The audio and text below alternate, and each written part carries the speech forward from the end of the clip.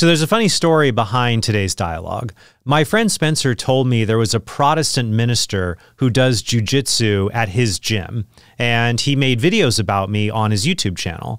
And I watched some of them and I thought they were pretty good. So I asked Spencer to get the minister's contact information. I emailed him and I said, Hey, why don't I come down to your gym? We could do a few rolls together and then we could do a dialogue on your channel. So I went down, we got a few rolls in, uh, had a good time. And then I went to his church, which is the Church of Christ, to have a dialogue about the Catholic view of salvation and the Church of Christ view of salvation. And it ended up having a particular emphasis on the issue of baptism, where we have actually a lot of agreement, but still important disagreements. So I hope you find today's episode really edifying. I also want to say I'm really grateful to everyone, our patrons and our supporters, who helped us reach our goal of redesigning the studio to do these kinds of interviews here. We're going to start work on that very soon to redesign our studio.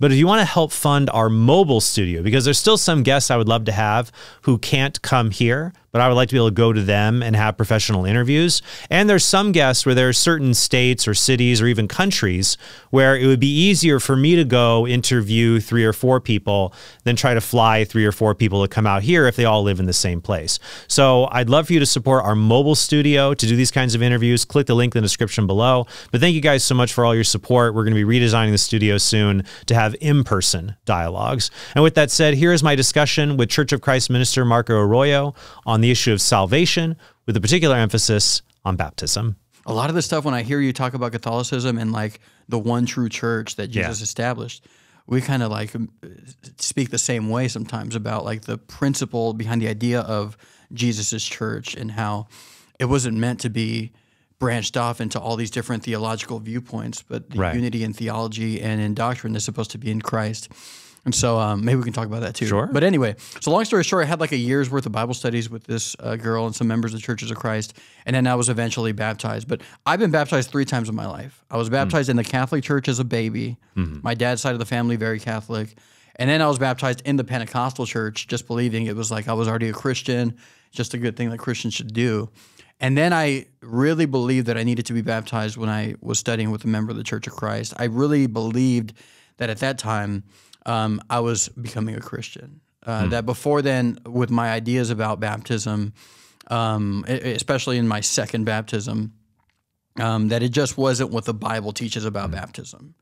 And so I felt the need to be baptized one more time. So I'm, well, yeah. and uh, that's what's interesting a little bit about Church of Christ, because when we think about baptism, there's really four possible views divided on two questions. Mm-hmm. Does baptism save? Does it spiritually regenerate us?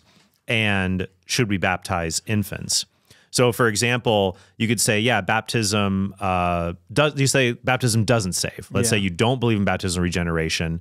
Then many of the what I call like credo Baptists, mm-hmm. uh, the, the, the credo Baptists, you'll say, okay, we baptism doesn't save, and we don't baptize infants. Mm-hmm. Then you'll have other Protestants who will say, yeah, baptism doesn't save, but it's a covenant sign, so we're going to baptize infants. So some Protestants will do that as a, as a sign of entering the covenant, yeah. even though baptism doesn't save. Then, so that's one side of it. Then the other side would be baptism does save, and so we baptize infants, mm-hmm. which would be Catholics, Lutherans, Anglicans. And then the last quadrant would be baptism does save, but we don't baptize infants which Church of Christ. Yeah. hey guys, there you go. it's funny. I was watching your conversation with uh, uh, Gavin Ortlund, And at the time, you were like, I don't know, and he was like, Churches of Christ, and then you're like, Oh yeah, that's true. Yeah, that's always the four, uh, thing of the quadrants. I'm like, that would be, oh yeah, yeah, that would be the last part. I thought about when I saw that video making a silly little edit, like taking that, and then he's like, Yeah, Churches of Christ too, and then just me being like, Totally, totally. for pre- preparation for a conversation. Yes, yeah, I thought yeah. that'd be funny promo material. But I was gonna say, have you ever spoken to someone, had a dialogue like this with someone who believes that baptism is necessary that it saves, but they don't baptize infants? I have not. This would be a this would be a first dialogue with someone on on that point because usually it's either yeah. it saves, so we believe in infant baptism, or it's one of the other. Eh, you know, it's one of the other ones. Wow, and, and most cool. of the time, it's for those who don't believe it doesn't save nine times out of ten, it's with somebody who doesn't baptize infants. Wow, nine times so out of ten. Yeah. That's cool to be the again the guy in that final quadrant. Yeah, yeah, yeah. Right. okay, so uh, I'll, I'll let you say um, what is the Catholic plan of salvation? You have, let's say, yeah. this is the scenario. Alien sinner is the term that gets used that sometimes. Doesn't know Jesus or anything like that. Yeah. And he goes, "I want to know Jesus, Trent. What do you tell? Him? I want to become a Christian." Well, I would share the gospel with him, and the gospel is the good news of salvation through the life, death, and resurrection of Jesus Christ. And so to be saved, you just have to do three things you have to repent, you have to receive Christ, and remain united to Christ. So repent, receive, remain. The alliteration is good. Yeah, That's repent, smart. repent, receive, remain. That's basically the three steps. Not necessarily in that order, but repent, receive, remain. So if it's an adult, like for example, I was baptized when I was 17 years old. I was raised in a fairly non-religious household.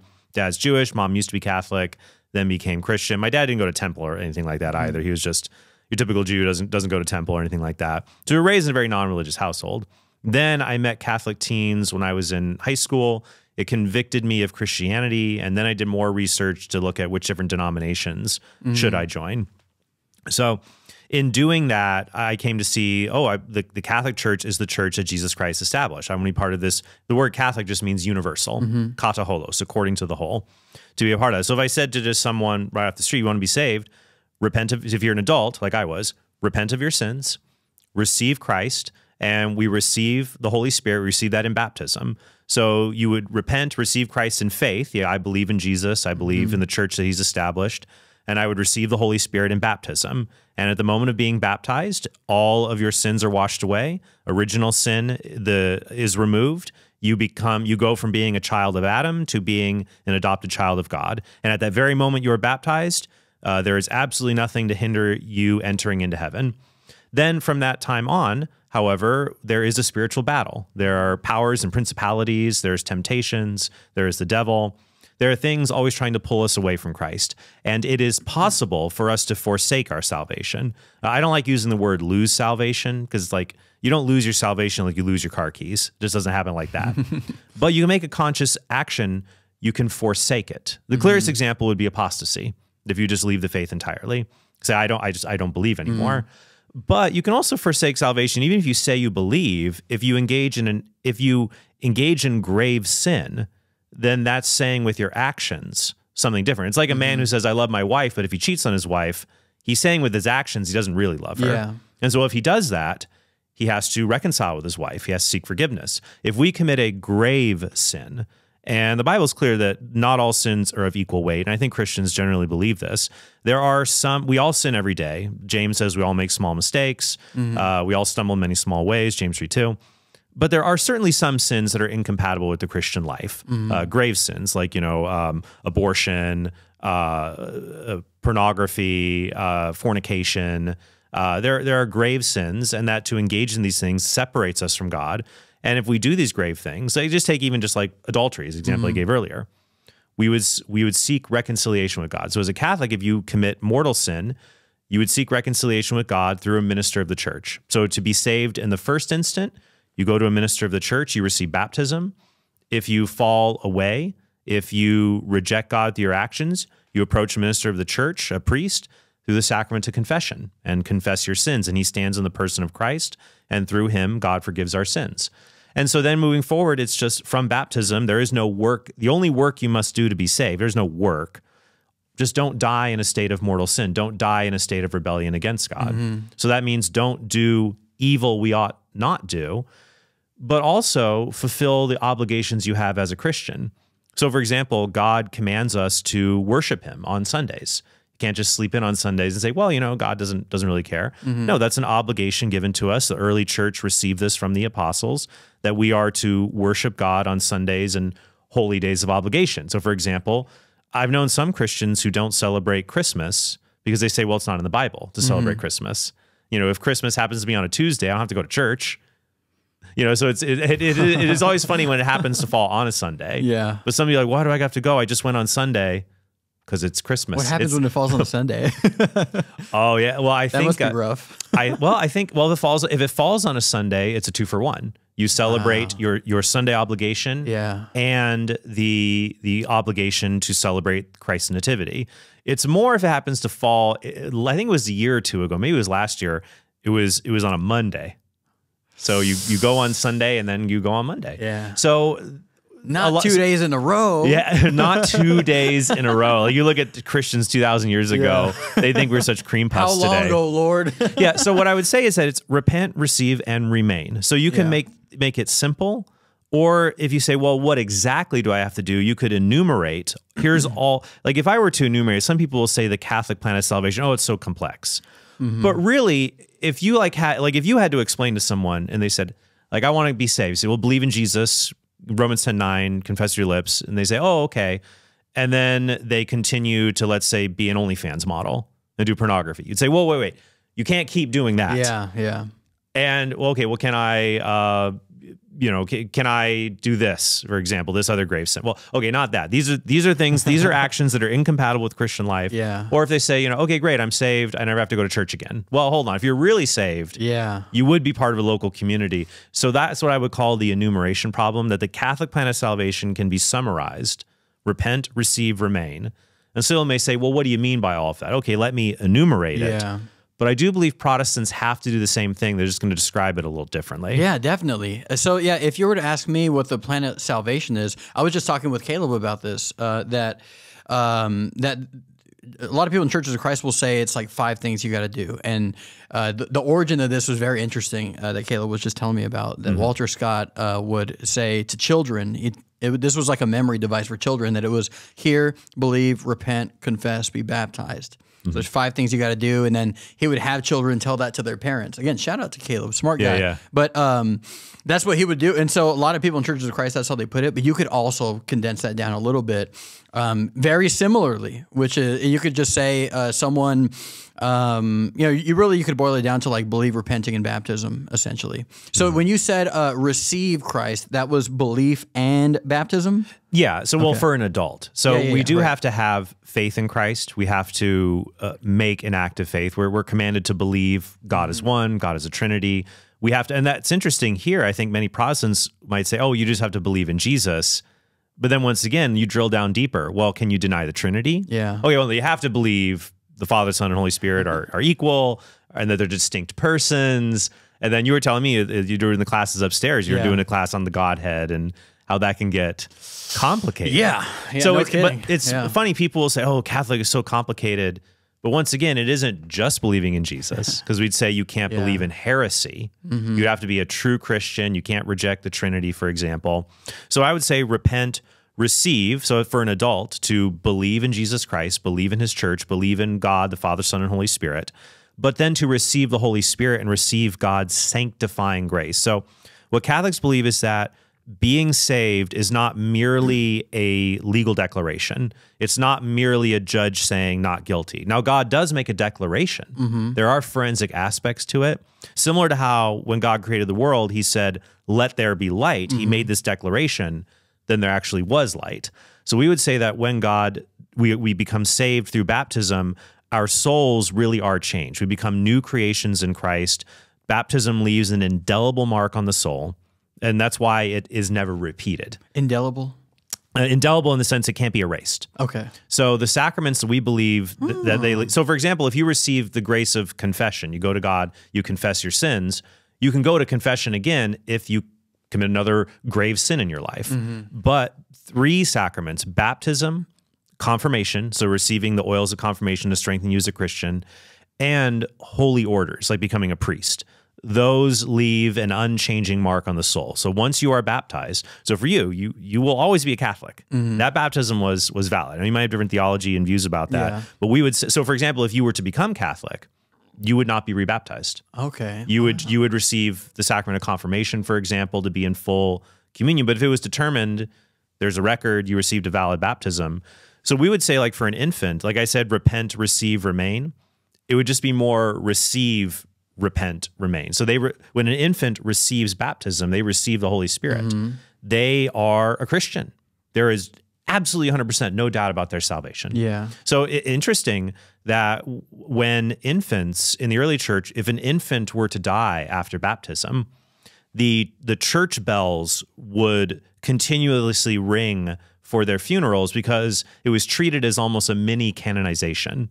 That there is absolutely 100% no doubt this child who's who has been baptized uh, is in heaven. Yeah. And so and so it's very interesting that you see even in the ancient Christian catacombs, you'll see inscriptions asking for children who had died. And of course, 2000 years ago in the catacombs, this was a time when half of all children died before the age of 5.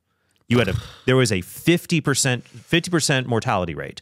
You only half of all people made it past the age of 5 because of disease and harsh conditions. So in the catacombs there are many examples of Christians asking uh, my Paulos, please pray for me. He is one year and three months. And the idea is that these children were baptized, that there was absolute assurance that they were in heaven praying for their parents who was who were on earth. And so that's how they, you know, viewed it and sought for their intercession because there was no doubt these young children assuredly So, were in heaven. Can you can you trace like in your circumstance being baptized when you were 17? Can you uh, in that situation can you find or track or point out the moment where you were justified, the moment of justification? Yes, I, I would say it was. So we would say justification and sanctification are really two ways of describing the same thing because we believe So Calvinists are different there, right? Very much Yeah. so. Very much so. And in fact, the distinction of justification and sanctification really was born more out of the Protestant Reformation. When you look to the early church fathers, they were really considered the same way of describing things. Basically idea- synonymous. Yeah. So if justification makes you right with God and sanctification makes you holy, well, what makes us right with God is that we become holy. Mm-hmm. We become we become holy as God is holy. So we I would say that there was a moment where I received the gift of faith Mm-hmm. when I came to believe Jesus is God before I was baptized. That's something I didn't merit. It just mm-hmm. came into my heart through study and reflection.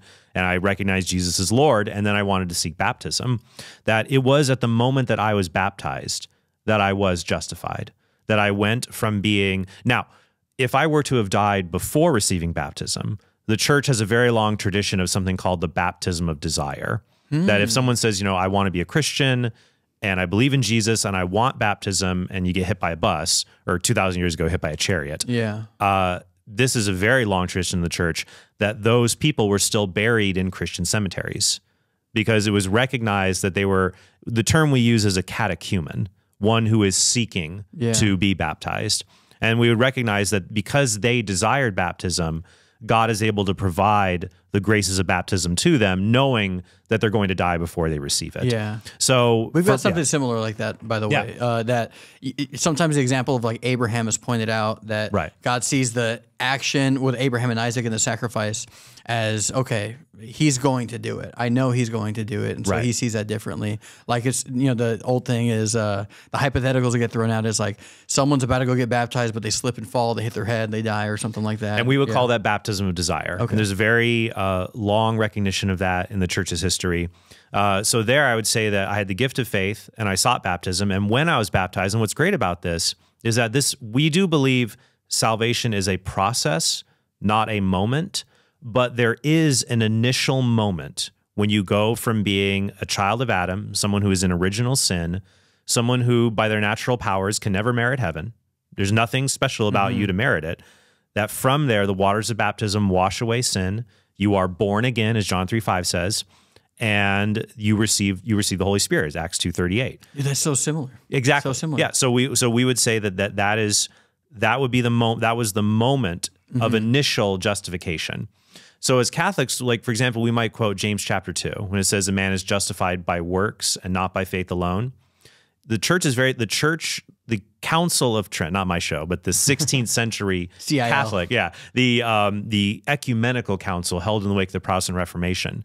That verse in james man is justified by works and not by faith alone it is only excuse me it is only cited in the council to describe works we do in cooperation with the grace of God after baptism. Hmm. That when we do good works, so Ephesians 2:10 for example, Ephesians Yeah. 2, 8 through 10, people will take that and say, oh, you know, we're saved by grace, is not of any Yeah. works. We are the works that were prepared for us. They us. try to use that against you, Yeah. like as much as they try to use it against me. right, exactly. yeah. Because what we would say is, well, no, we agree. Like when I don't have a problem with that passage. Yeah. And neither did Martin Luther, because Luther believed that baptism saves. And Luther said, yes, baptism saves us. Ephesians 2 8 through 9, we are not saved by mm-hmm. works.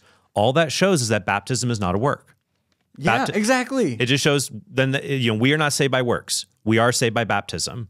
So some Protestants will take from that argument, therefore we are not saved by baptism. Yeah. Uh, and they would say, no, no, we're not saved by works. Baptism saves. Therefore, baptism is not a work. It is just something that we receive. Otherwise, if, if you put it as, well, it's something you do, it's something you do to be saved. By that definition, every Protestant believes in works based salvation. Yeah. Something you do. Do I do something when I say, I love you, Lord? I believe in you. When I listened to the gospel, when I thought about it, when I professed faith? Any, you could always describe anything we do as a human action. Yeah. Or Jesus said, This is the work of God that you believe in him whom he sent. John Right. six twenty nine. Yeah, so is belief a work? Well, it's not it is not a merely human work. Yeah. It is a work that we do only because God's grace makes it possible mm-hmm. and we cooperate with that grace. We choose to allow God. So what I would say is that a human being has no ability to merit heaven. There's nothing we can do to earn heaven, but there are things we can do to demerit. There's things we can do to earn hell. Mm-hmm. We can work our way to hell. You can't work your way to heaven. Wages of sin is death. Yeah. Romans six twenty three. So when when James 2 24 talks about we are justified by works, not by faith, it's talking about how the works we do after baptism genuinely please God. Mm-hmm. And so in doing that, it makes us become holier, it increases our justification. So my friend Jimmy Akin gives this analogy for justification. Consider a light. So a light can have two qualities. The light can be its purity and its radiance. So you could have a light that is very, very white and pure, but it's very, very dim. Mm-hmm. Or you could have a very radiant light that's not very white. It's kind of orangish or reddish. It's kind of a dirty light. So we believe that when we are baptized, we receive the pure light of Christ. It's it's pure justification. There's nothing we can do to increase that. The justification of Christ that we receive in baptism. However, the radiance of that in our lives, uh, wh- how much that is evident in, in the holiness that we do, that radiance of it can increase or decrease. Similar when Jesus says, "Let your light shine before men," you know, the works that you do, or how God, you know, in Romans chapter two, talking about those who will be rewarded for their works. That Jesus even uses the Greek word misthos to talk about those who do good works will receive a wage or a reward. So the idea here is that after baptism, the works we do, God is pleased by them. God doesn't have to pay us, He doesn't have to reward us. So it's not a wage we earn. It's just the fact that He's our Father in heaven and He has said, I love you. It's like when my kids do something good and I ask them to do something and they do it, I'll reward them. I don't have to legally, but it's because I made a promise to them and I'm their father and I love them. Yeah. Because if I paid them based strictly on the value of the work, they're four.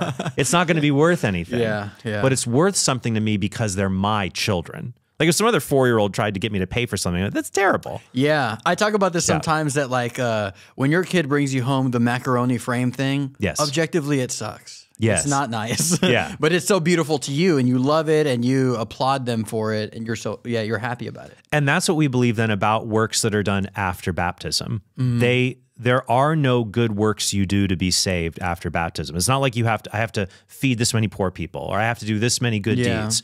That that would be awful. That would be such a scrupulous nightmare to think I have to do an arbitrary number of good deeds. Mm-hmm. But when we do do works of holiness, it's essentially, in back to you know martial arts or weightlifting, whatever it may Yeah. be, it's essentially spiritual weightlifting because we live in a world.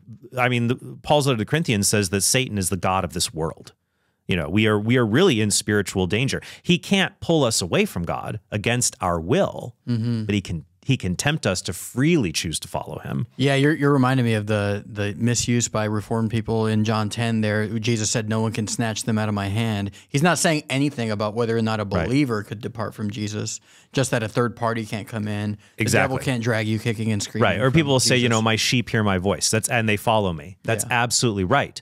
But the question is who chooses to remain a sheep? It's mm-hmm. when you look at a lot of those promises, like my sheep hear my voice and they follow me. Um, there was a uh, Dale or his name was Dale Moody. He was he was a, a Baptist who was actually writing on this, who came to reject the idea you couldn't lose your salvation. He has a whole whole book on the subject, and he points out these promises are always in the present tense. It doesn't say in Scripture, "Anyone who believed in me shall never fall away, or will will listen to me." He who believes me, he who follows me. That the promises are for those who are the current followers of mm, Jesus Christ. great point. So that's why when we're talking about you know these kinds of works that we do, the only work one must do after baptism to be saved is to not die in a state of grave sin. Just don't die in a state of grave sin. And we can look in our souls and say, okay, there's some things I do. These are minor offenses, what we would call venial sin, the, the, the things we do every day where we fall short. But I think every Christian knows deep down there's some serious violations of the Ten Commandments. You'd say, wow, that was really bad. For example, we don't ask God to forgive every individual sin we commit during the mm-hmm. day when we get anything done, you know? Yeah. But there are Yeah. some serious sins we feel like, oh, I need to ask God to forgive me for Yeah, this. hundred percent. And so what we would say is just don't die in a state of refusing to ask for that forgiveness. And so don't don't remain don't do the bad things and stay in the bad state. And don't refuse to do the good things like worshiping God on Sunday in the community at church or receiving Jesus in the Eucharist. In fact, the Catholic Church only obliges you to receive the Eucharist once a year. You just Really? well. There's I mean there's some part places around the world where there aren't as many much access to priests, or someone could be in a state of mortal sin, not have you know not feel like they can approach uh, the sacrament. But so while you have to worship God every Sunday, uh, you only have to receive the Eucharist once a year. Hmm. But you do, but we believe that because John chapter six, Jesus is very clear: unless you eat my flesh and drink my blood, you have no life within you. Hmm. And so we take that just as the very first Christians did that Jesus, he is the Passover lamb. You know, he he died, you know, his legs are not broken, he's a male without blemish. He, you know, he died as the new Passover lamb. So the old Passover lamb dies and then is eaten. We believe that Christ dies for our sins, so death passes over us, and he is also received under the form of bread and wine. And so that's a very important part of the Catholic plan of salvation. And it has been the very first Christians recognize that, you know, the importance of the Eucharist in this way. Very interesting. Yeah. Okay. Well, that, that's actually a good point to transition here. Um, after now that we've spent a, a good enough time uh, dunking on the Calvinists and everyone else uh, who denies baptism is necessary. Yeah. Um, I, I think our biggest point of divergence now here is when it comes to who needs baptism, and we, this is where it gets weird. The. Yeah. language gets weird because Yes, it does. We would both say baptism saves. Yeah. Baptism saves, but you would baptize everybody. Well, I everyone as far as age goes, uh, and I would only baptize people who I would say are accountable or Mm-hmm. age of accountability, which. That's weird too, and I'm very happy about getting um, both getting your perspective, Yeah, sure. but also getting cross-examined a little bit about this. Sure, yeah. Because there there are questions I have myself about all this stuff, and Mm-hmm. and a lot of people were like, uh, "Are you sure you want to uh, talk to uh, Trent Horn or something like that?" I'm like, dude, I don't. Again, like I, Yeah, um, that's fine. the church that I was part of, when I was part of Pentecostal, that Pentecostal kind of church, um, when I really was convinced that uh, the truth of like, you know, I don't. Uh, yeah, about a lot of stuff. Like, I don't think the sinner's prayer is in the Bible, and I don't think that's valid at all. There are other Protestants who have, who have recognized that and say that. I I've think- been I- noticing there's a little bit of a trend away I, from I that. think even Ray Comfort, uh, you know, the the the way way of the master. Uh, you know, what what is what does Ray always? He always says, uh, "Are you a lawyer? Are you a thief? All the Ten Commandments." You know, uh, I, I love Ray. Well, I've I've asked him to be on my show, and he's he's kept declining, but maybe one day. One Um, But I think he also doesn't doesn't prefer Okay. the sinner's prayer. yeah, so say. when I realized that wasn't in the Bible, I was, and, and then I saw a, a much better path and what I believe the Bible teaches on how to become a Christian. When I started studying with members of the Church of Christ, I thought, well, this is going to suck, this transition, but it's it's what's right, and I'm just not scared of uh, the truth. I don't know why people. Um, I- there's some people that wouldn't do stuff because of the scrutiny of it, or Yeah, they're yeah. gonna have people. I don't know. It just doesn't bother me. I'm not scared of it. So I'm happy to get, uh, and I want you to kind of cross-examine me a little bit about it a little bit. So, um, what is the basic, um, the basic reason for baptizing infants for you? the basic reason for baptizing infants is the same reason we would baptize every single human being Yeah. That we are born in a state of original sin. So this is not an actual sin that we have committed, it is a deprivation of God's grace. So we would say that Adam and Eve, they had preternatural gifts uh, given to them, the fact that they lived in friendship and harmony with God. And so those gifts would have prevented them from dying, for example, from suffering from disease. Uh, and they lived in friendship with God and had these gifts, this grace, this gift of God. But because of their rebellion and rejection of God, they lost those preternatural gifts. They lost that special grace and friendship with God, and they were unable to pass that on to their descendants. Mm-hmm. And so when the Bible speaks about Adam's sin and about us, you know, our relationship to Adam, that's what's being described here. That that because the Bible says that we you do not punish children for the sins of their parents. Mm-hmm. So original sin is not God punishing us for what Adam did. It's Adam essentially punishing us Yeah. through his own decision.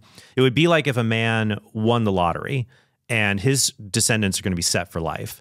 But then he cheats to try to get more money and then he's caught and has to forfeit all of his his winnings. In doing that, his chil- his descendants now suffer because of that, but not through any fault, but just because they could have been they could have received riches, but instead now they receive um, a lack of it. They were So- rich kids, now they're poor kids. Exactly. And so when Adam and Eve were in God's friendship, we were rich.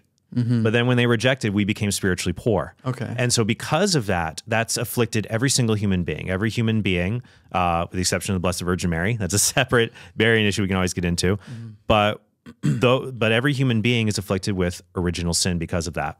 And so the antidote then to original sin is baptism.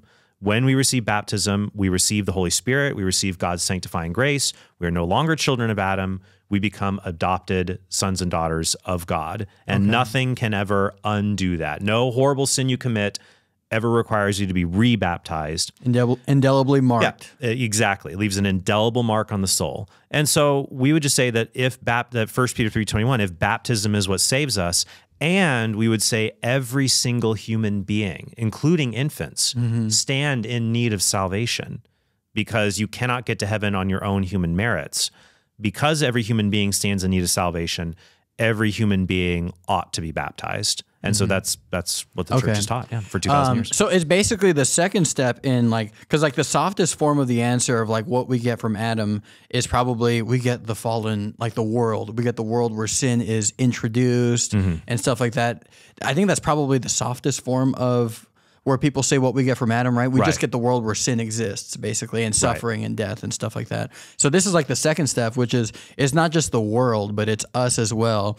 That we don't we're not born with uh, grace privilege, I guess in a sense. Although what I would say is that death existed before the fall. So I Oh, would, right. Yeah. right, because I would say, That's right. I forgot about this. yeah, I would say that death, and I think it's very clear there was some kind of death whenever Adam and Eve invented the salad. Yeah. That God says, take these green leaves to eat. they're they're not going to last long in your digestive system. Uh, so there was death, but the death that came about from the fall was human death. That by the lacking these gifts of God, the human body became corruptible. Human nature changed. Now, baptism doesn't fully undo the change in human nature. We don't become invulnerable, Uh-huh. But it does restore our souls. So is that how basically how you would argue for the presence of death before Adam? Yes. Because like you know, there's guys like Ken Ham who Were you there? Yeah. Were you there 6,000 years ago?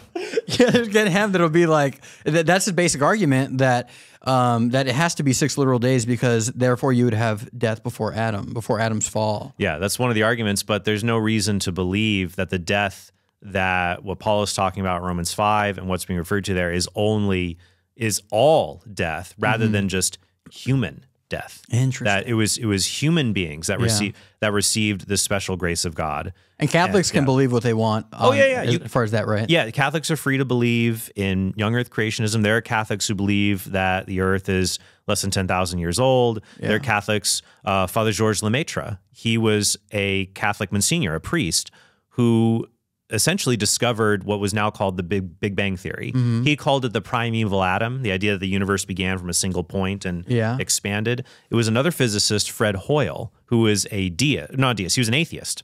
And he made fun of the theory because he, didn't like a Catholic priest saying there was a beginning. He thought the universe was eternal. Oh, okay, and so he said this is just that Big Bang theory of Father Lemaitre. Really. So the memes always win. Yeah. the memes always win. Yeah, exactly. So and so he called it that and the name stuck. He ended up becoming a deist actually based on the design in the universe. He didn't become Christian, but Hoyle came to believe there was a God. He couldn't think that all of this happened without without design. Okay. Uh, so yeah, so Catholics are free to believe either thing. There was a cardinal during the, the trial of Galileo, Caesar Baronius, who once said uh, that oh, was it was it him? No, it wasn't Gus. It was him. The Bible teaches us how to go to heaven, not how the heavens go. You know, so it's like you're free you're free to believe Yeah. either, but but I do believe when it comes to baptism, especially, that it's necessary to undo the curse of spiritual death that came to all of Adam's descendants. Okay. And that all of us stand in need of that. Interesting. Yeah. Yeah, that fascinates me. Um, that fascinates me. So, uh, grade my grade my arguments a little bit, then, yeah. or uh, critique them a little bit. So, basically, I would say that uh, God knows. Uh, God knows that children are born with this uh, moral ignorance, incapability, and I think that there's enough passages for me in the Old Testament where God seems to, at the very least, desire to pass over them in judgment because of because that's their state.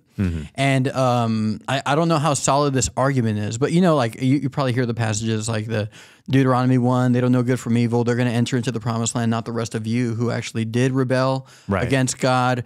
Uh, like in Jonah 4, the very last verse of Jonah, um, there he says, you know, there's 120,000 persons who don't know their right hand from their left and much livestock. Shouldn't I have pity on them? And I think, uh, I used to think that there was 120,000 people in Nineveh, but I think that's in reference to you know little children and babies.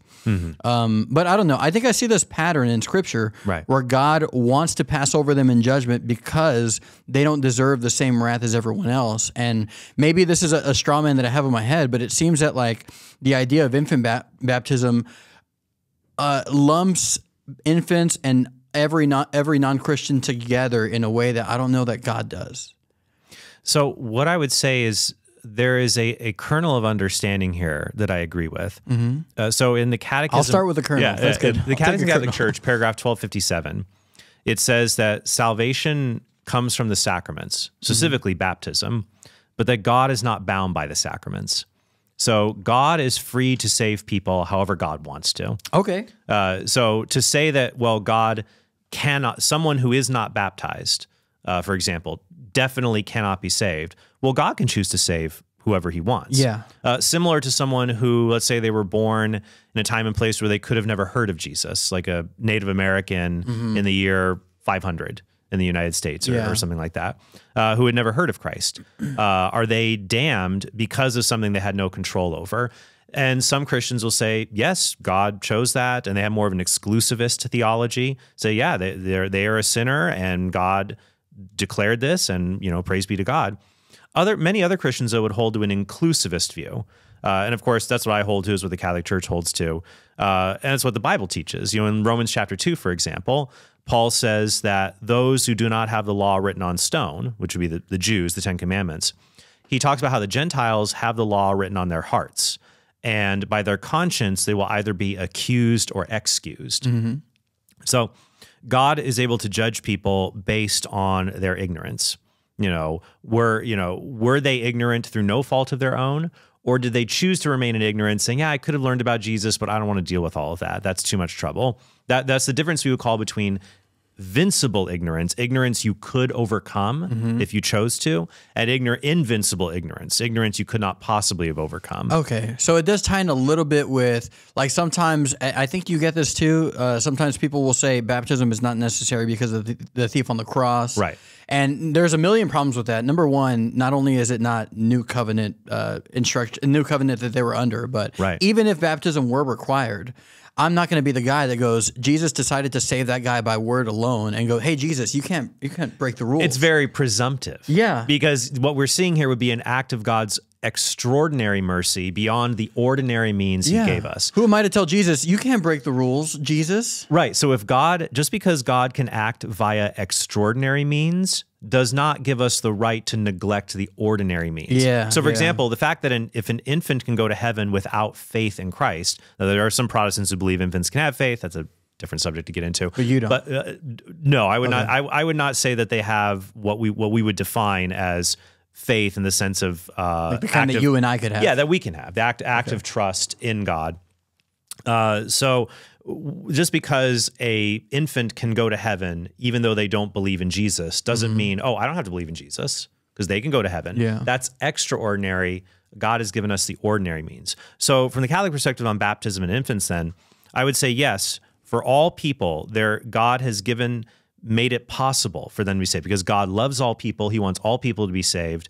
So he has made it possible for every single person to be saved. Mm-hmm. And God will judge them based on what they were given, what what Okay. what, what means of revelation they were given. Do you treat it like a certainty? That's the, that's the next step. Okay. So, however, just because there is a possibility, it does not mean that's a certainty or even a probability. So the next question becomes how do we make sure that for human beings it goes beyond just a mere possibility to a certainty? And the answer to that is clear from the first century onward is baptism. Baptism is what gives us that certainty, or at the very least, someone actively seeking baptism, mm-hmm. like baptism of desire. But baptism is what gives that certainty. So I would say that I treat all people, infants or non Christian adults in a far off country, the same, in that there is a possibility for all any of them to be saved. There's a possibility for any of them to be saved.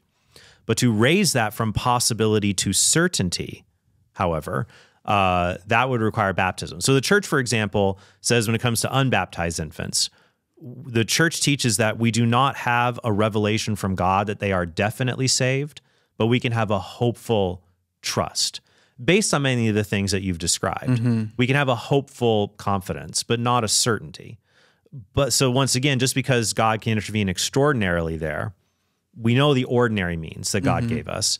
Uh, and I would say that uh, for that for infants to say to say that they definitely will go to heaven, I would say, well, what is the reason for that? If we say it's because they haven't committed wrongdoing, well, now we're just appealing to their human merits, and no human merit can attain heaven.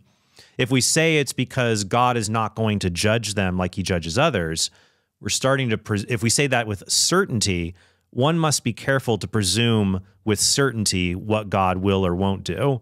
Uh, I'm only willing to do that based on what God has definitively revealed. If we arrive at that, oh, well, God won't judge infants, He's not going to judge them, He's going to save them.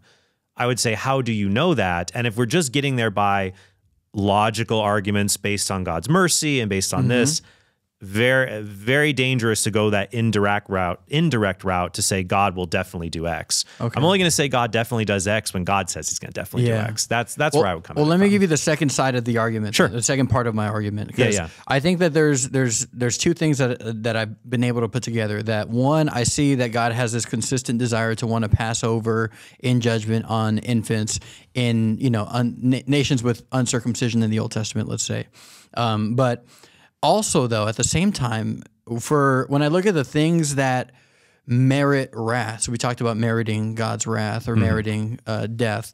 Um, like in Romans, well, you talked about Romans 2 a little bit. In Romans 1, 2, and 3, when there's that indictment of, uh, of the Gentiles and the Jews, right. um, it seems like everything that merits wrath. I don't know how any of that applies to infants. I- I just I think that there's like an emptiness and a lack of what if I just struggle seeing when I read scripture of God saying, "Here's the problem that infants have." Like in judgment in the Old Testament, God says, "Here's the problem, and I want infants to be spared from this." Right. Like you know, with Joshua and the conquest, for example. Um, it- this is one thing. oh, I, won't, I won't. I won't get too ahead of myself. Sure. Because uh, there's like the. I don't know if you've ever dealt with like the morality of God doing that on infants. I guess the can be saved and leaving the room for that works, but. Well, in the the conquest Yeah, let's talk about that now. well, the conquest narratives do talk, give commands about slaying young Yeah. and old. But well, what does that mean about God? Leave If, leave none that breathes. yeah, but that's what I mean. If what does that mean about God? If if these babies that never stood a chance, let's say, Right. they're just all at the at completely at the mercy of hopefully God will do this. Now, are you talking? Wait, are you talking It- about what does it mean about God about the commands given in Joshua, or about their salvation after death? about death? their salvation after death, Mm-hmm. based off of the killing that God was commanding. Okay, so that's a little bit different, but it's somewhat related because God knows either causes or allows the deaths of infants every day Uh-huh, all, yeah. all over the world, far more than just in the the conquest of Joshua. I, I Uh, mean, like in the prescription of, of the conquest, like kill man, women, old and young. Mm-hmm. Um, if these babies that are born with original sin, it just feels like they never stood a chance. But I, right, but I guess then one would take the question back further and say, does God owe anyone heaven? yeah, yeah. And in fact, the medieval theologians, they they wrestled with this same question. And the concept they came up to resolve the tension was the concept of limbo. So the way that because they had the the same they they had the same concern you have, mm-hmm. which is okay. Well, what does God do? God doesn't owe heaven to anybody. You can't you can't stand before mm-hmm. God like the boss baby. Like imagine boss baby who can talk. Yeah. Be like, I never did anything wrong my whole life. You have to let me in. God doesn't have to let anybody into heaven, uh-huh. even a baby. He doesn't like to say God has to let a human into his domain. That's not Yeah. how it works. Yeah. So God doesn't owe heaven to any. God doesn't owe eternal bliss to any of his creatures. Mm-hmm. That is purely a gift. He does not owe it in any way, shape, or form. And so the medieval theologians, uh, well, Augustine on, were really struggling to say, okay, yeah, God doesn't owe heaven to these children, but they haven't done any, they haven't committed a mortal sin. They haven't committed a, a they may have died in original sin, but they didn't commit a mortal sin. They didn't commit actual sin. And so the resolution they came up with is limbo. Limbo is not a separate place from heaven and hell. Limbo comes from the Latin word limbus, which means edge or border. And so the idea is that lim- limbus or limbo was the outer rim of hell, but it was a place of perfect natural happiness. So hmm. it's a it was a place where you you didn't suffer, and in fact you were perfectly naturally happy, but you did not experience the beatific vision. You didn't have the supernatural happiness of dwelling with God. You just had unending perfect happiness. How interesting. And so that was how they resolved. So when people said, "Oh, they believe babies went to hell," well, the outer border where where you don't suffer, but you don't experience God. The only thing I've known about limbo is Inception, Inception's rendering of limbo. You'll end up in limbo if you die in this dream. You'll be there forever. So that so that was the idea behind limbo was that was to resolve very tension you're discussing here. Uh, and limbo, however, has not been. It was never infallibly defined by the church as a dogma you must believe. It was one that theologians propose as a solution to this problem. And it's one you can still believe if you choose to. The church hasn't resolved what happens. But I would say the more popular answer now among the magisterium and developing in its theology is a hopeful trust, but not a definite certainty for unbaptized infants. W- Without straying too much uh, from uh, from this part of it, um, what would you say? Um, what does the idea of limbo? Well, how do I word Well, this rightly? Like, is it like a? Is it something that they reasoned towards and saying, "I think a place like this must exist because of this situation"? You know what I mean? Yeah, it, it was a way of them trying to resolve God's justice with what's been given in divine revelation. So they think like by necessity there must be like it's kind of like how Dennis Prager goes, uh, if God is just, then there must be an afterlife. He doesn't really feel like he has Right. any example of the afterlife in Scripture, but it's a logical conclusion. And, and now the argument though about wrath, um, I don't think that gets you all the way to well, if a, we don't have to baptize babies because they're definitely going to go to heaven. At best, the argument would only show that they're not going to hell, because you might say, okay, well, God in His mercy, these children who have died. Uh, you might say, for example, either they go to limbo, which is they might get perfect natural happiness, or God may simply not give them eternal life. They've only had one life. They won't suffer. That's the annihilationist position. So someone could say, well, I believe these babies, you know, they never committed a sin. So they're not going to go to hell, but God is not going to resurrect them. Yeah, they at the just end. cease to They, exist. they will just cease to exist. So they will not suffer for anything they've done. However, they won't go to heaven because there's nothing about them that merits heaven. Uh, so we can't say that. So I would say that the argument about God's justice and where wrath is inflicted, it does not get you to the conclusion, oh, well, babies will definitely go to heaven. Rather, I think the only safe bet for that is to say, well, God has said baptism saves, it saves us from original sin. It is meant for everyone. Like in the early church, for example, there's no, the only debate over infant baptism in the early church was there were some people who said, well, you should baptize infants eight days after they're born because baptism replaces circumcision, and circumcision happened eight days later. Of course, that was that was just for health reasons for babies. Right, the the blood clotting. thing, Exactly. yeah. And, and so what uh, the early Christians said was, no, no, no. Uh, that was it replaces it, but because infant mortality rates are so high in the ancient world, they believe no, baptize babies as soon as they are born. The only other abuse that tended to happen in the early church was because penances, like when you apologize for, you know, sorrowful for sin, you want to make up for what you've done. Um, penances for sin in the early church sometimes could be severe. So some people tried to game the system by just waiting to be baptized right before they die. Yeah. And that goes against the entire spirit of God's grace and what's being given to us in the sacraments. Yeah. But typically, when it came to infants, uh, the idea here was no, the debate was just don't wait eight days, baptize them as soon as you can. I mean, our child, our third child, was born unintentionally at home. So this was during COVID. Oh man. And we were What a rough time to have a kid. Yes, this is during COVID, September 2020, and we were waiting. Uh, so we were waiting home. I was just like, oh, we- we really didn't want to go into the hospital. We- we were planning to go, but we were just like, oh, I don't know. And so we, we didn't want to be there as longer than we had to. And then the labor just caught up with us. And suddenly we're in our bedroom, and here comes the baby. And we have the 911 on the phone.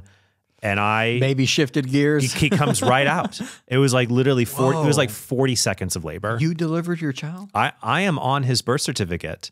Says under who delivered it is my name. Whoa. So I it was just me, caught him, and if I was worried for like a few seconds, he didn't do anything, and then he's alert and he starts crying, and then we pass him off, and then I was thinking, okay, I want to cut the umbilical cord. So I'm like, okay, what do I? And I'm all like frazzled. I'm like, I'm, I'm starting to undo. Like, I'll use my shoelace to tie, and I'll get a steak knife and pour Yeah. alcohol on it. no way. And but then the the paramedics showed up right at that moment when I was about to do that, and they gave me the stuff to to cut the cord. Wow. Um, you know what's really funny about that about our American healthcare system? Then we got in the ambulance, uh, and they so it was a very expensive ambulance ride to the hospital, and then they charged us for labor and delivery of no the baby. way. And we called the hospital, and I said. Why are you charging us for labor and delivery? We delivered the baby at home. And they said, Oh, let, we'll rerun that. They reran it. They gave us the same bill, but they charged us for labor and delivery of the placenta in the ambulance. wow. Yeah, they always find a way to get you. But when I was prepared, if he was in danger, if it looked like he Mm-hmm. was blue or something was in danger, I was going to baptize him right then and there. Wow. Right then and there as an emergency baptism. In fact, the church teaches because God wants everyone to be baptized, normally it should be a priest or a deacon, Mm-hmm. but it says anybody can do it. Even an even an atheist. Like you have two atheists, and one's Mm. Like, I want to be Christian, and he has a heart attack. Like I always wanted to be baptized. His atheist friend can say, Okay, I'm I'm gonna baptize you. I'm gonna do what Christians try to do with this. And he knows it's in the name of the Father, Son, and Holy Spirit, and he does the right words. And he just says, I want to do what Christians, the church does with this. We treat that that would be valid because God wants everybody. So I think that's where I would look at it when it comes to infants that yes, they're not morally accountable because they don't commit original sin, because they don't commit actual sin, but God doesn't owe he- the, God only owes heaven to those he has promised heaven to.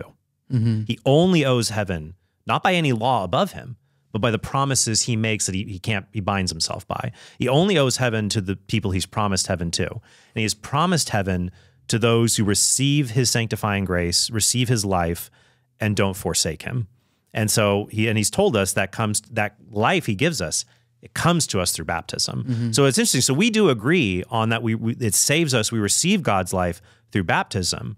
But I would say that the promise of heaven is only for those who have received that life from him. While God can extraordinarily save people who didn't receive his grace in mm-hmm. that way, we must not presume upon that. Okay. Yeah, because basically my idea is if God's wrath is this train that is on its way, and when God has decided for Jesus to come again, and wrath comes to those who did not know God, did not obey the gospel. Yeah. Uh, like Second Thessalonians says.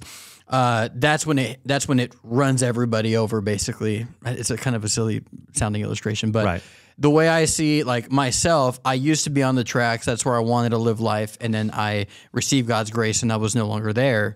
Um, but I just see babies as or infants as like they were never on the tracks because getting on the tracks, Yeah. you place yourself there, and so.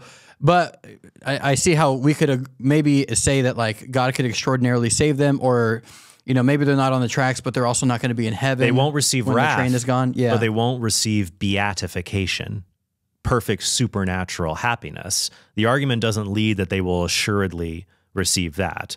Only the promises associated to baptism would would be um, would be connected to that. I think also theologian, at least classical theologians, would say. I know Pope Benedict XVI discusses this. That phrases like God's wrath, we have to be careful not to anthropomorphize God. So we would say, for example, the classical tradition is that God is just perfect being itself. So God doesn't react to us. Mm-hmm. God is all knowing, all powerful, all present. All of his life is in one perfect timeless moment. That's the classical view of God's temporality. And so God doesn't react to us because, you know, he's not Yeah. you know, he's he's omniscient and perfect. And Benedict talked about how descriptions of God's wrath are a way not of describing what God does to us, but what we do, but what we do to our relationship with God. That when we move away from God, that is essentially that's his wrath. So when we see a lot of descriptions of God in the Bible, we have to be careful. It's very easy to anthropomorphize them.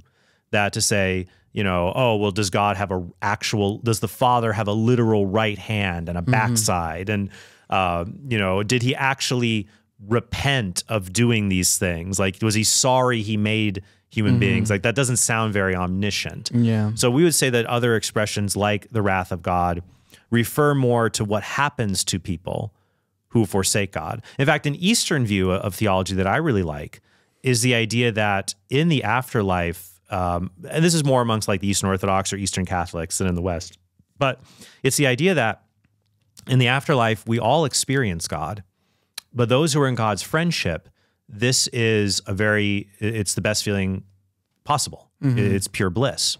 But for those who die apart from God, who are not in friendship with God, who do not have God's sanctifying grace, it is misery to be around. Mm-hmm. So it's like, for example, if um, your hand, if my hands are hot and your hands are lukewarm, and I hold them, your hands feel good in my hands.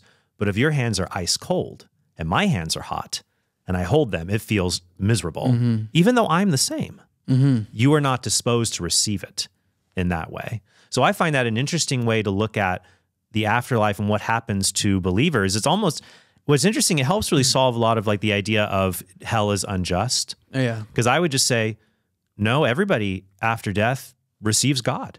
It's not unjust at all. But those who have trusted in God, they enjoy that reception because they're friends with God. But then for other people, like God doesn't have to do anything extrinsic to be wrathful. If you are just not God's friend, God's mere presence is Yeah. is an agoni- is an agonizing thing. It's kind of like um, what was it? I think it's Brian Regan. He does a bit about people who one up at parties. It's like you know, like I had a wisdom tooth removed. I had to have four wisdom teeth removed without surgery. You know, or um, uh, someone he's like, I wish I could just be an astronaut. Say, oh, you got, you know, you did that. I walked on the moon. Try to one up that. like, there's some people. Like, if you ever go to a party and there is a really awesome person there, there's two types of people. There's people who love being with the awesome person and they feel grateful, like this is so cool, we're with this guy. And then there's another type of person who can't stand Yeah. they're getting all that attention and they aren't. And it just drives them crazy. So uh, I think there's uh, that's a good analogy that for people who die apart from God's friendship, uh, even even if they are before they reach the age of accountability, they still have just these natural human temperaments that they're not able to really receive God in that supernatural blissful way. It's always like, well, what about me? Mm-hmm. If I mean, if anybody is what about me, it's an infant Yeah. right? But I do believe that from a theological perspective, we can have a hopeful confidence. But just because we have hopeful confidence about things, we, we ought not be presumptive. Okay, so yeah, I was going to ask you then. So you're into, in summary, your criticism of like my point about God, I see patterns of Him wanting to pass over them in judgment, and the things that I see described as deserving of wrath in the New Testament. It se- seems to exclusively refer to people who make choices instead of infants. Is your critique basically that like?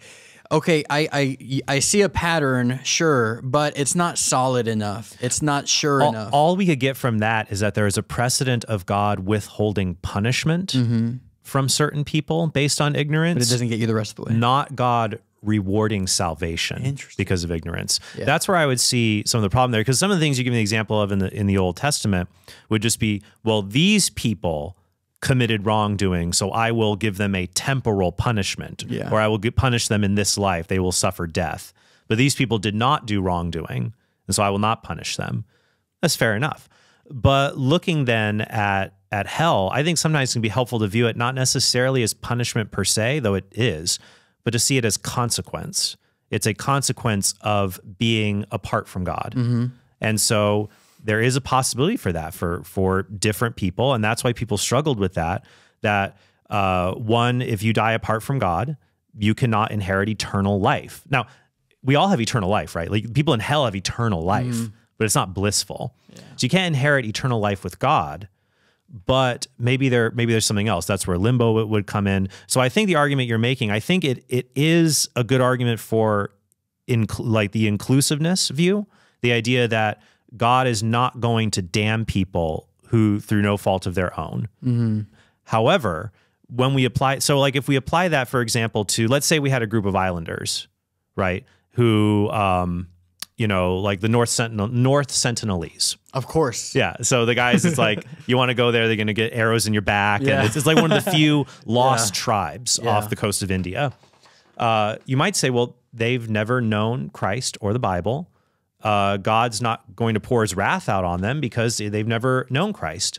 So one could make the argument, well, if that's the argument, maybe we shouldn't witness to them at all. Yeah. Why, why would we give them a You're making it worse for him. we're making it worse for them. Yeah, So you might say, oh, well then then by that logic, uh, yeah, we're, we're making it worse for them.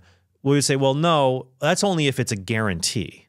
So we'd say, well, it's not a guarantee they'll be saved. We're saying that Mm-hmm. God will have mercy on them and he'll judge them accordingly. But it would sure be great for them to raise their possibility of salvation to a probability or, or a certainty. Yeah. And so I would say then, if you, your argument would would allows for inclusivism, for example, for these natives and also for infants, God's not going to be cruel to infants who never had a chance to receive the gospel. But in both cases, it only allows for possibility. And I would say that God has given us the means to raise that to probability and certainty. So, that's I'd where I would to- see it differently. I'd have to go to the next step and try to prove heaven for them. That's interesting. for the Sentinelese. no, no, for, Oh, the- for- for, infants. Yeah, Infants, and, and and that's where I would say, but even there about not being in sin. I mean, you have David in the Psalms saying, you know, I was I was conceived in iniquity, for I don't know. I struggle with that one. It seems like that one's not very literal. I don't know. Like the verses around it, like they're they're never saying- literal when they're a problem for us. well, like the other ones where he says like "wash me" and stuff like that. that's He's not right. Mm-hmm. asking God to literally wash him. You know, Uh, it seems like in a, in a high, heightened emotional state, he's. Mm-hmm. It's kind of like people say like I've always been a like a mess up or something like that. Like not necessarily. You know, not in this sense. Yeah. I don't know. Uh, I think he would deny though that he was conceived in holiness. Yeah, and I think yeah, the sure. problem is that if infants were conceived in holiness, and we and the Bible described them as uniquely holy until they reach the age of accountability, Mm-hmm. you could maybe get an argument for your position. Hmm. But in Scripture, I think you have to concede this. There isn't a mention of the age of accountability at all. No, and I think the, I think that- the that argument makes from it difficult. Deuteronomy is weak. Like the twenty-year-old thing that they did back then is kind of weak. The idea, Uh, oh, that would be hilarious because most of us think of it around the age of seven. Yeah, So that'd be funny if you said, "Well, I believe in the age accountability just once you're 20. Yeah, Before that, Yeah. you're you're basically an infant." yeah. No, I, I do struggle with this the Psalm fifty-one idea. It just Yeah, seems yeah. like it goes like from like non-literal, non-literal, and then people say verse five is literal, then they go back to non-literal, non-literal again. Well, I would say it's not even necessarily literal that he's conceived like in literal filth or something Yeah. like that in the womb, but rather in some kind of a moral.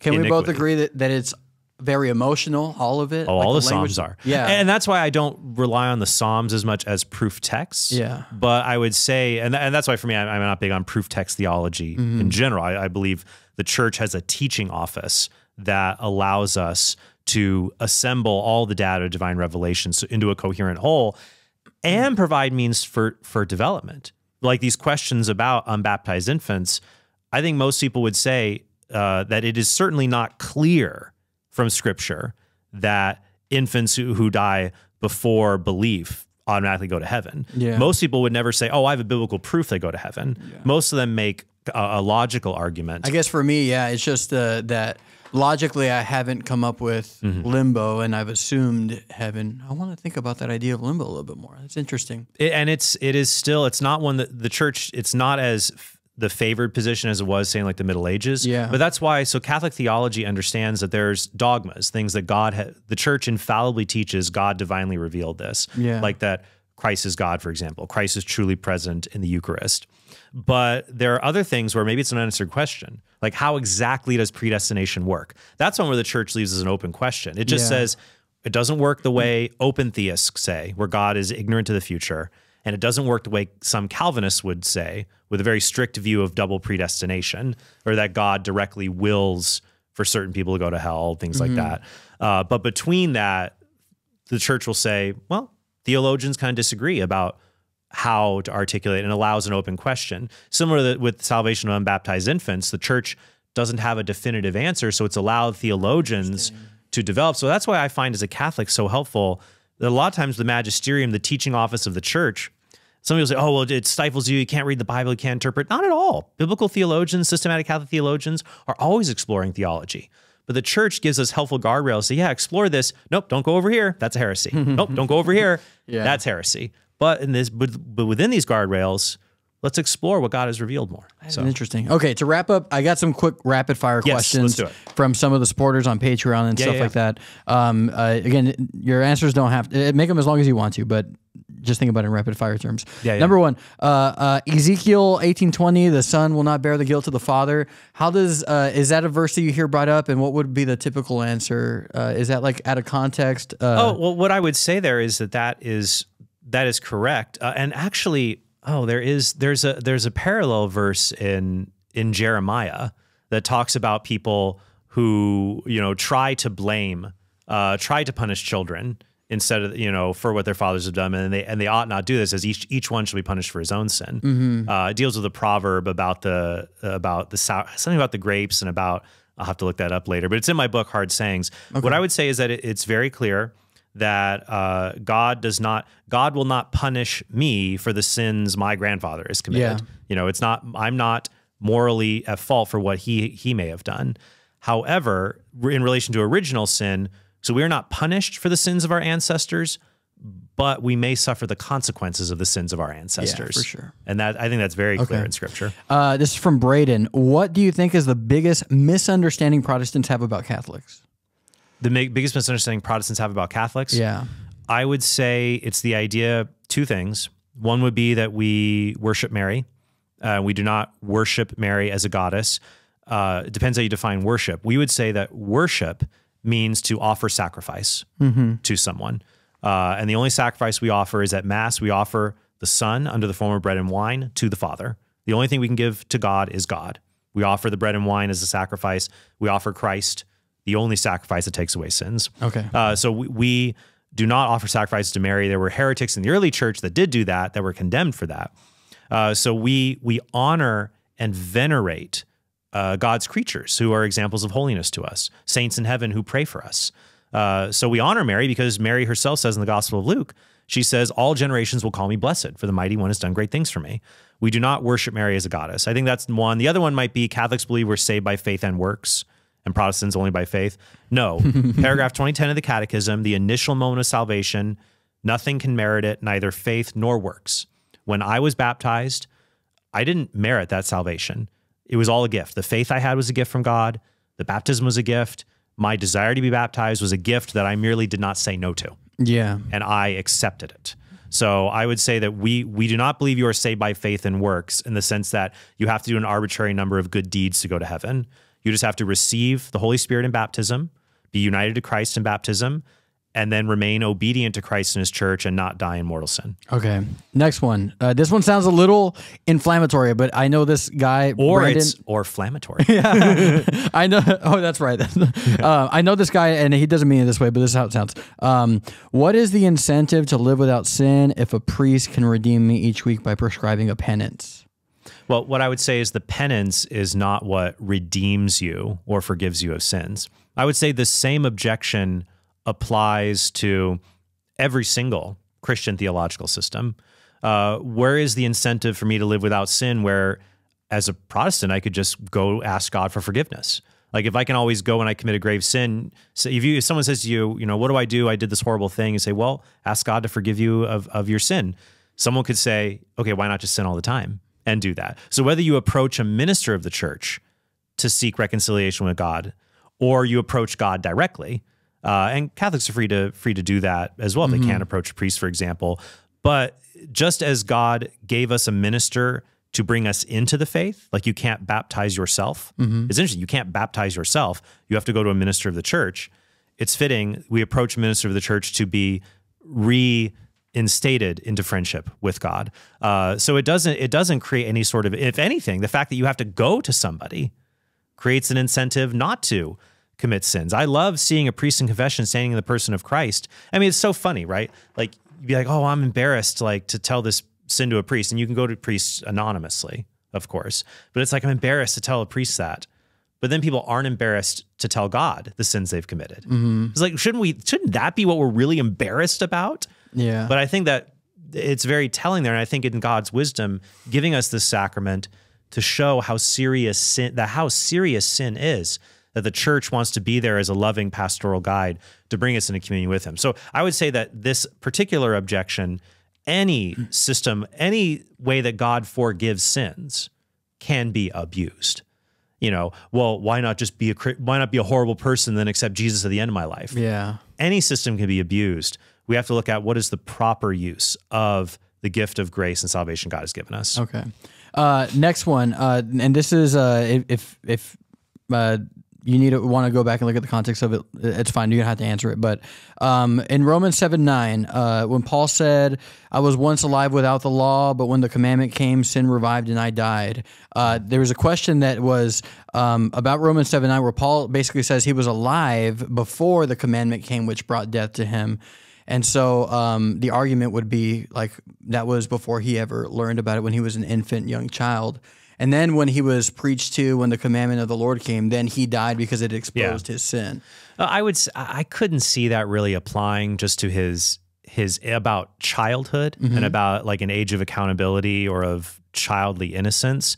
The context running all throughout Romans, what Paul is saying, is basically this: you don't have to be a good Jew to be a good Christian. That is the number one theme that he is talking about. So when talking about faith and works, and we're justified by faith apart from works of the law. Mm-hmm. Many people have mistakenly believed that what Paul is talking about here is we're justified by faith apart from good deeds. But that's not what Paul is really talking about. Now, he doesn't believe you do good deeds to be saved, to enter into salvation. But what he's talking about here is that he's talking specifically about doing works of, you can translate works of law, you can translate nomos law. It can say, we are justified by faith and not works of Torah. So that would be a better way to understand what Paul is saying. We're justified by faith and not by works of Torah. We're not justified by following the Ten Commandments because they're the Torah. We still have to mm. follow them. You can't just stop following them as a Christian. But we don't have you don't have to become a good Jew to become a good Christian. You don't have to be circumcised. You don't have to follow the Torah and then believe in Jesus. You can just be saved by believing in Jesus and receiving him through baptism. And Paul makes that clear in Romans chapter 6 when he talks about how in baptism he compares that to dying and rising again in Christ. Mm-hmm. So I would say that what is being discussed there is not about childly innocence, it's that the Torah is not what gives us salvation. It was the helpful guide. In Galatians, he calls it the pedagogos. He calls it the babysitter that led us to God. Mm-hmm. But now that Christ is here, the Torah is not what gives us salvation. There are good things in the Torah there are things we should still follow, like the Ten Commandments, but you don't follow them because they are Torah, yeah. because they are the Old Testament law. Uh, that is not what saves us. In fact, to follow it as if it is what saves us, that is what brings death. Where Paul is saying, no, what brings life is Jesus Christ. Okay. Uh, this one I'm going to summarize it as well. Um, All right. This is something that you talked about with Gavin Ortlund about Cornelius uh, being regenerated in that in Acts 10 prior to baptism. Yeah. Um, uh, Mitchell here points out that in Acts 8 you see that the Samaritans were baptized, then they received the Holy Spirit afterward, uh, after they imparted the gift of the Holy Spirit to them. The apostles did. Mm-hmm. Uh, so the question is, uh, how do you justify that Cornelius's baptism was non? Oh, wait, how do you justify that Cornelius' baptism was non-regenerative?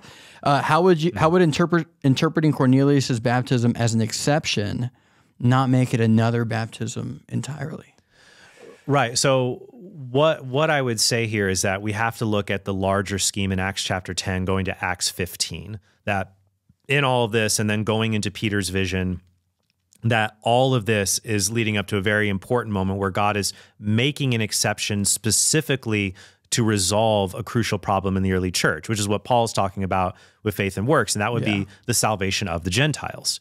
That originally the idea is, well, you know, this is something, this is for the Jewish people, for the chosen people to say, no, this the time has come now to break out into the Gentile world. And apparently that hasn't been clear to everybody. So I'm going to have to make a special intervention here to intervene to make that abundantly clear so that it can be made clear in the revel you know in that incident ultimately culminating in the council of Jerusalem infallibly teaching this revelation that Peter has received and making it binding upon the upon the whole church. So I think a lot of that when you're looking in Acts of the Apostles, it's it's very interesting people talk about baptism and they like want to stay in Acts because a lot of people who do that also believe in Jesus only baptism. Hmm. That when they just want to stay there and they get so myopically focused in the book of Acts.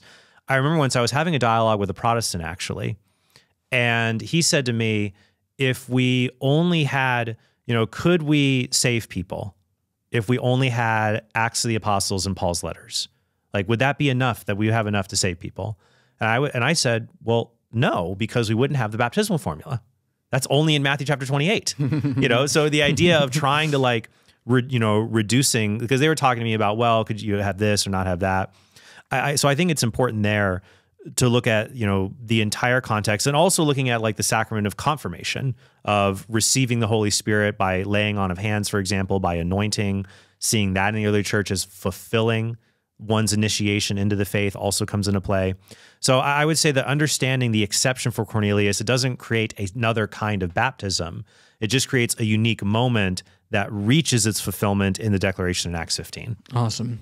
Uh, last one from Eric, who you actually met on the way in here. Um, three book recommendations for people starting out in Christian apologetics. Ooh. so just in defending the the basics of the christian faith Yeah, existence of God, things like that. so so many so many things uh, well one that i this like might be the hardest one. no no no no might be the hardest question. well one that I, here here's a few i can i can throw in there so three just to start off with uh, one that I like that they might enjoy just for apologetics. It covers Christian apologetics. It also covers some Catholic apologetics, but it covers a wide variety of issues. Uh, my friend Jimmy Akin's book, A Daily Defense, and it's like a like you know this cal- like a flip calendar. Yeah. it has one apologetic argument every day. that is cool. So it's 366, I think, one for leap years also. And you just go through it covers God, Jesus, the Bible, and also Catholicism. I think it's a nice start. Yeah. It's just a nice start of just starting to understand apologetics in this way. Uh, I think then if you want to go deeper, that is a, I'm trying to think of a really solid Christian apologetic. I also don't want to be self serving. I mean, I could mention my own stuff, but I don't want to do that. Yours won't count if you mention them. I cannot mention them. uh, one that's kind of advanced, but I think it's probably my favorite on atheism is Five Proofs of the Existence of God by Ed Feser. Uh, it's a really great critique of atheism from a classical theistic perspective. At the very least, it's kind of a heady book. Read the argument from motion and then his defense of natural theology. It's just two chapters in it okay. well worth it to reply to atheism. And he's got another good arguments in there um, as well. But when it comes to that, I used to talk about the Blackwell Companion Natural Theology, but that is a brick of a book. Oh, really? uh, but when it, uh, let's see, other other apologetic books.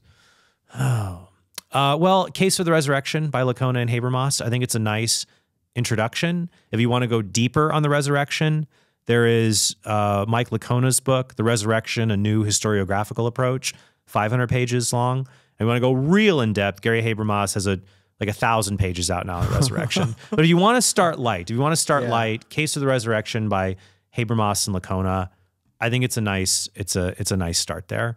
Uh, But I love Five Proofs. Uh, I think Reasonable Faith by William Lane Craig is also a good. You've mentioned that was kind of a, a formative one for you in the Yes. beginning, right? Yeah, that Yeah. William Lane Craig. People who helped me to become Christian really like Protestants, like William Lane Craig and J.P. Moreland. Wow. Honestly, that's where, and also, and some Catholics like Peter Kreeft. But um, so I think that that's good. Uh, also, the Catholic Handbook of Apologetics. It's like ninety percent Christian. It used to be called the Christian Handbook of Apologetics, and then they added some Catholic stuff at the end in the next edition. So they called it the Catholic Handbook of Apologetics. But I think many Protestants still like it. It's like ninety percent just okay. Christian apologetics. Awesome. That's another good one I'd, I'd recommend. Thank you so much for taking the time. It means the world to me. Oh, thanks for having me. It was fun. Thank you so much. Um, it gave me a lot to think about, and I appreciate it. Anytime. Um, and uh, well, I'll do an outro, but this is Trent Horn, Counsel of Trent. Um, the books he's written, uh, very good. I, I, they've really been a blessing to me, the ones that I've read. And uh, let's see, Catholic Answers. Um, uh, Yeah. Pro- professional jiu-jitsu killer, destroyer. no, no, I am no, I am a, I am a four. Like I got my four stripes. It took like three years to get to. so like I am now at the point where like I am just depressed at knowing all the things I don't know. Yeah. and I, uh, I have enough of a squirrely game to at least like survive with the blue belts for a decent while, and then purple and above is just I'm just I'm out. I'm out. Oh, so man. well, yeah. thank you so much. Yeah. Thank you, everyone. Talk to you soon. Yeah. Thank you guys so much for watching. And don't forget to like this episode and subscribe to our channel. Thanks again. And I hope you have a very blessed day.